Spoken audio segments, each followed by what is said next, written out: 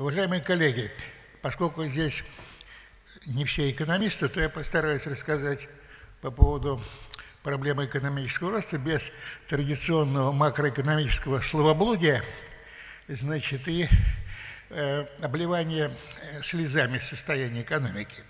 Значит, в действительности в чем серьезная проблема у нас? Серьезная проблема заключается в том, что нам нужно действительно серьезно увеличить темпы роста валового внутреннего продукта.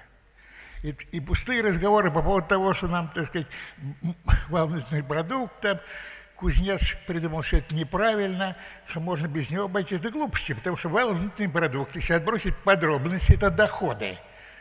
Если доходов не будет, то у нас есть единственный способ заниматься перераспределением. У кого-то забрать, у кого кому-то дать. Мы такой опыт имели, результаты негативные. Экономический рост должен быть. А экономический рост за счет чего может происходить реально?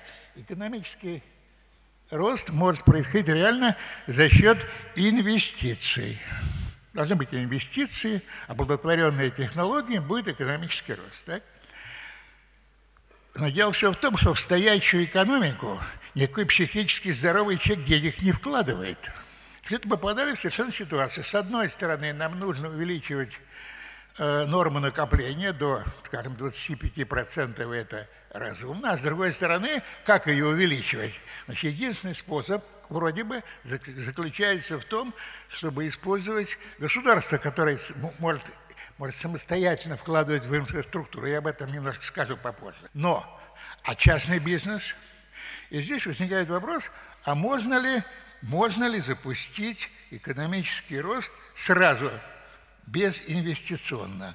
Потенциал экономического роста это оценки Института народохозяйственного прогнозирования, это 4,8% в настоящее время. Так?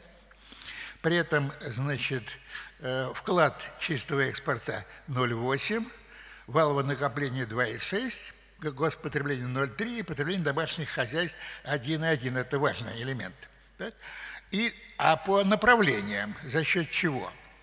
Значит, это инфраструктура – 1% плюс, ввод жилья 0,8, эффективность экспорта 0,7, модернизация машиностроения 0,8 и экономическая инерция, которую мы сохраняем 1,5%, получаем 4,8. И в этом смысле, в этом смысле, значит, ту, тот ориентир, который был поставлен в послании президента – о экономический, что экономический рост должен э, к 2024-2025 году в полтора раза увеличить вал, внутренний продукт на душу, на душу населения в России, это требует действительно вот таких темпов между 4,5 и 5%. Я считаю, что, вообще говоря, Э, указы, указы, они ведь можно, их можно менять, переделывать, отменять указы юридически, а послания, они их никуда не денешься, и я думаю, что мы сохраним это вот направление по посланию. Так, теперь вопрос заключается в том, а реалистично ли это, что для этого нужно, чтобы начать, начать сразу экономический рост. Для этого нужно, а, во-первых, нужны свободные мощности. Смотрите, что у нас происходит. С восьмого года ввод мощностей существенно опережал рост вала внутреннего продукта.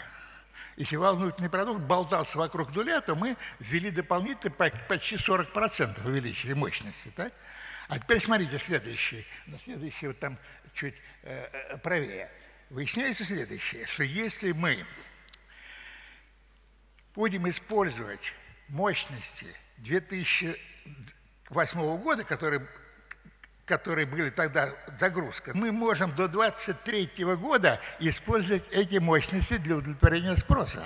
Значит, вообще говоря, все это можно при условии, что есть спрос. А вот смотрите, что у нас получилось.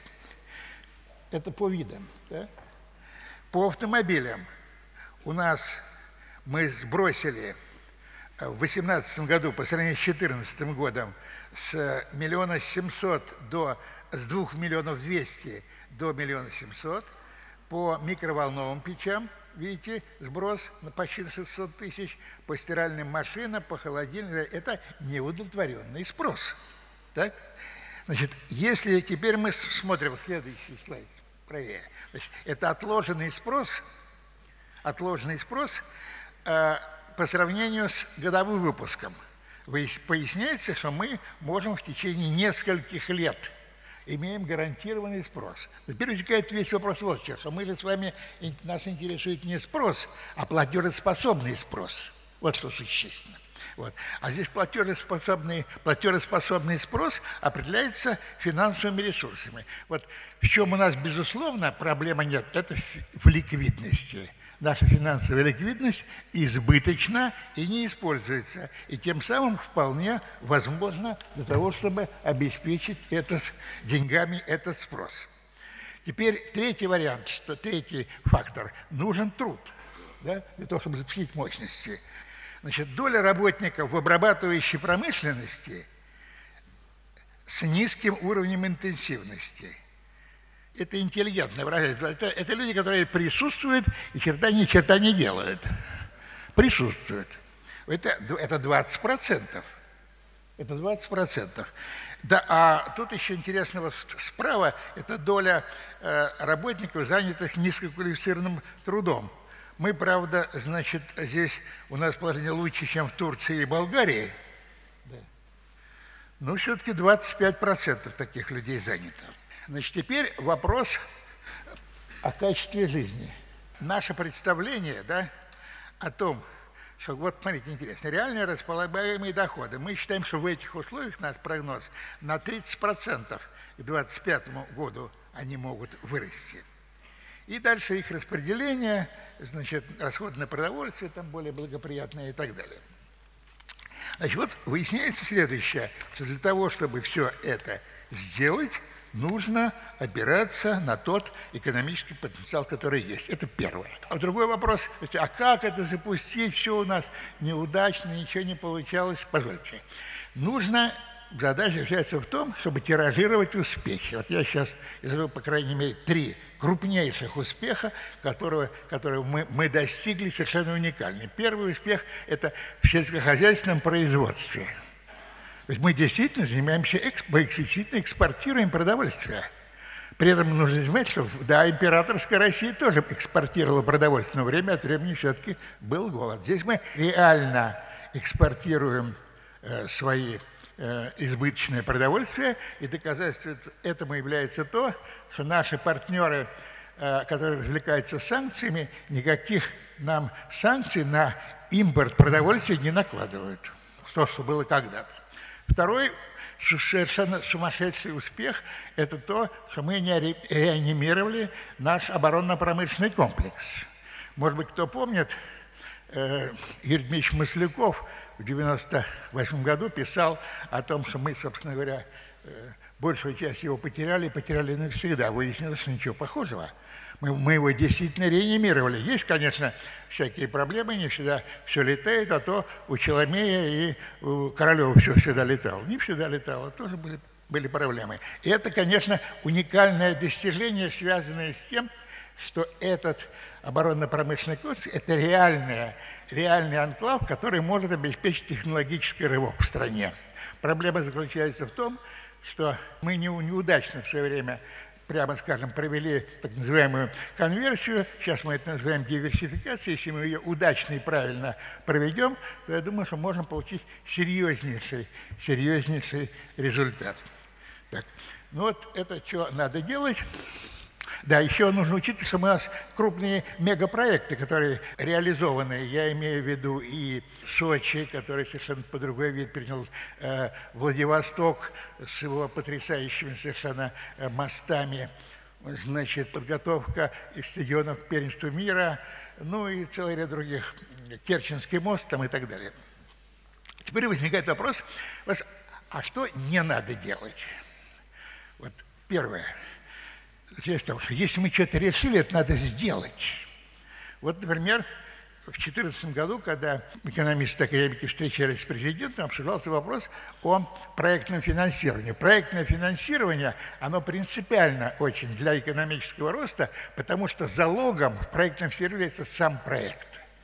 Потому что если этого нет, то э, кредитование вообще оно устроено довольно обычно деньги дают не тем, кому надо, а у кого деньги есть. Значит, здесь залогом является э, сам проект. Значит, прошло пять лет. Что у нас есть? У нас есть проектные офисы, у нас есть инструкции, у нас только нет проектного финансирования. Как не было, так и нет. Значит, просто нужно сделать то, что решили. Это первое. Второе обстоятельство. Крупным вкладом, по нашему мнению, в экономический рост, безусловно, являются инфраструктурные проекты. Кто знает, какие инфраструктурные проекты все-таки будут. Мы будем строить дорогу куда? В Казань или в Питер? И по-прежнему будет у нас актуальна книга Радищева о путешествии из Петербурга в Москву. Потому что нет решений, нет решений. И, наконец, еще одна проблема, довольно принципиальная проблема, это проблема заработной платы. Не, бу не будет никакого экономического, экономического э, э, роста и технологического роста, если не будет, если не будет роста заработной платы. Значит, разговоры о том, что есть какой-то такой закон о том, что значит, заработная плата должна расти быстрее, медленнее производительности, если дурацкий нет такого закона. И хотел кто его изобрел, кто доказал такой закон. Значит, вопрос соотношения. Если, проблема если в базе у вас есть равновесие между зарплатой и производительностью, а при этом при этом в условиях производительности доходы инвестируются в развитие, да, тогда это может отставать. А так, вообще говоря, эмпирические последы показывают, что это все не так. А есть э, хорошая, мне кажется, мысль такого малосимпатичного политического деятеля, но успешного предпринимателя Генри Форда, первого, который доказал, что инвестиции э, в высокую заработную плату – это эффективный способ и развития, и э, развития спроса.